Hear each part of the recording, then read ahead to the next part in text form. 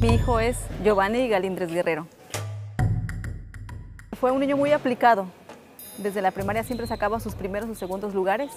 Siempre lo premiábamos. Un niño muy inteligente, de hecho.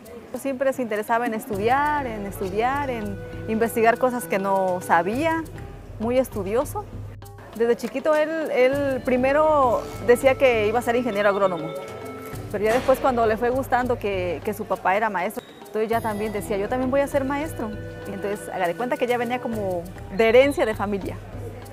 Se, se fue por la vocación de, de, ser maestro porque hay muchos niños que pues viven en pueblos muy pobres y que no, no tienen educación, ¿verdad?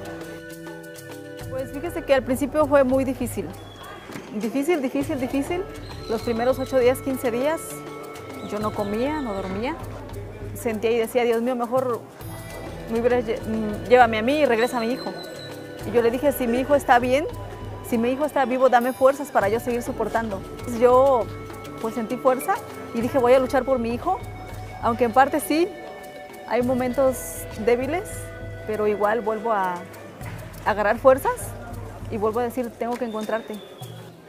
Nosotros aquí estamos luchando con mucha fuerza y yo creo que queremos encontrarlos y los vamos a encontrar.